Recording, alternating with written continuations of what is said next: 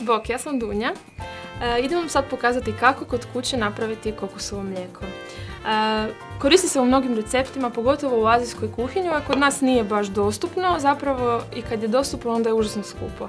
Tako da ukoliko vam ne treba baš ona kremoznost i masnoća kupovnog kokosovog mlijeka u limenci, zašto ne bi kod kuće napravili od sušenog kokosa kojeg hvala Bogu kod nas ima, znači to je ovo kokosovo brašna, i tople vode napravili kokosovo mlijeko. Znači vrlo, vrlo jednostavno i praktično. Možete koristiti u frapeima, šejkovima, možete raditi nekakve umake, juhe sa dodatkom kokosovog mlijeka i to je stvarno praktično i nema razloga zašto bi plaćali visoku cijenu za ovaj kupovno kokosovo mlijeko. Dakle, e, koristim omjer 1 naprema 2, znači dvije mjerice vruće vode naspram jedne mjerice e, kokosovog brašna. E, zagrijala sam si ovdje vodu.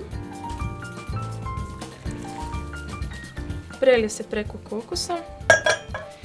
I dobro se dobro izmiksa. Ako imate jako, jako dobar mikser, on će vam skroz usitniti taj kokos, tako da praktički kad budete cijedili imat ćete sitne mrvice. Ako koristite štapni mikser, malo će ostati grudice, ali poslije ćemo jednako to procijediti.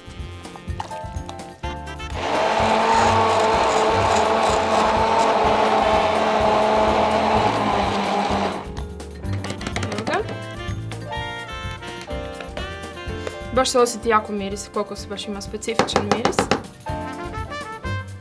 Sada to treba dobro procijediti. E, pokušajte e, to cijediti kroz e, nekako cijedlo koje ima jako, jako sitne rupice, tako da vam ne, ne bježe ovi komadići kokosa, iako recimo mene to ne smeta. Ja jako mm, ponekad znam čak i koristiti ovaj, ovaj, ovo meso koje ostane.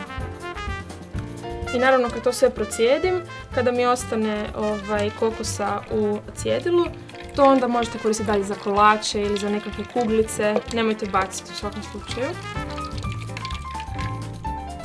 Evo ja to rukama, budući da voda nije skroz vrela, može se i rukama.